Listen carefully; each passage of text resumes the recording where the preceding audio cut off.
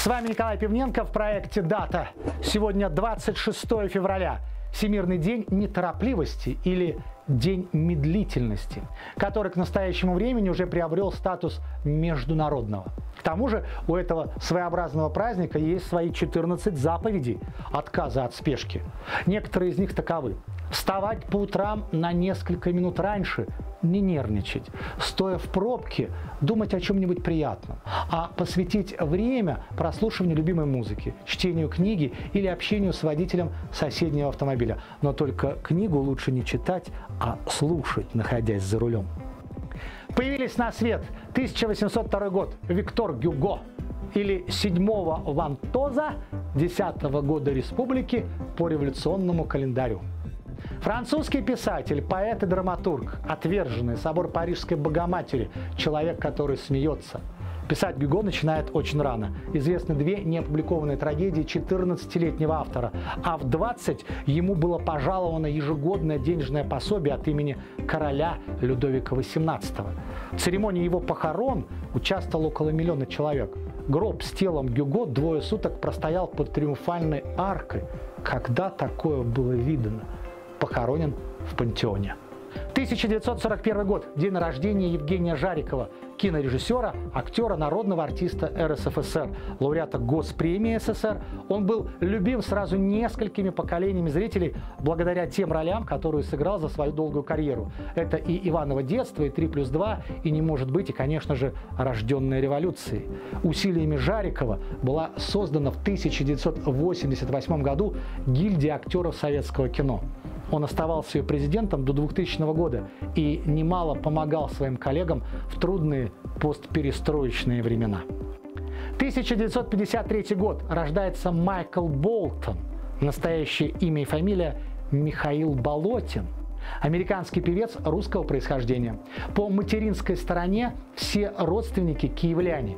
Еще один дед и бабушка были родом из другого русского города, название которого певец просто не помнил. Один из самых коммерчески удачливых авторов и исполнителей рок-баллад. 1954 год, день рождения Реджепа Таипа Эрдогана, турецкого политика и государственного деятеля, президента Турции с 2014 -го, сторонника светского пути, по крайней мере, так он называет себя. События дня. 26 февраля 1742 год. Экономная Елизавета Петровна приказывает Сенату устраивать фейерверк только в день коронации, а в Новый год, в день рождения меня, императрицы, и в другие праздники быть только одной иллюминацией. 1807 год учреждается знак военного ордена Святого Георгия для нижних чинов. Знаком отличия, утвержденным в этом году, будут награждаться за доблесть в боях рядовые и унтер-офицеры. С 1913 он станет называться Георгиевский крест, и носить его будут на ленте ордена Георгия. 1917. Накануне вечером Николай II дает приказ прекратить беспорядки в столице.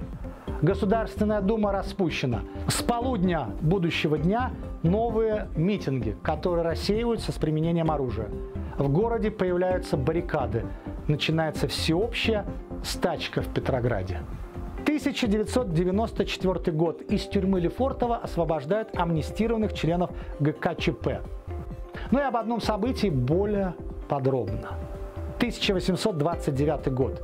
Рождается Леви Штраус или Страус, создатель Blue Jeans – он родился в Баварии. После смерти отца с матерью и сестрами уезжает в США, где свой бизнес делает не на добыче золота, как пытались многие, а на продаже различных товаров этим самым золотоискателям.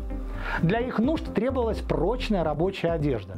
И Леви сначала предлагает им штаны, изготовленные из брезента, а потом с большим успехом шьет одежду из ткани деним. Как-то портной из Невады Джекоб Дэвис, тоже запомните это имя, предлагает украшать одежду металлическими пуговицами и заклепками. Ну просто так. Штраус сразу понимает, насколько удачная идея. И в скорости они вдвоем получают патент на новое изделие. А название джинсы рождается позже. В 1890 году появляется на свет знаменитая 501 модель. А я вспоминаю, как нас песочили в советское время за то, что мы, о боже, позволяли себе в старших классах приходить в школу вот в этой самой вражеской одежде. А ведь это всего лишь брюки, к тому же удобные. С вами был Николай Пивненко в проекте «Дата».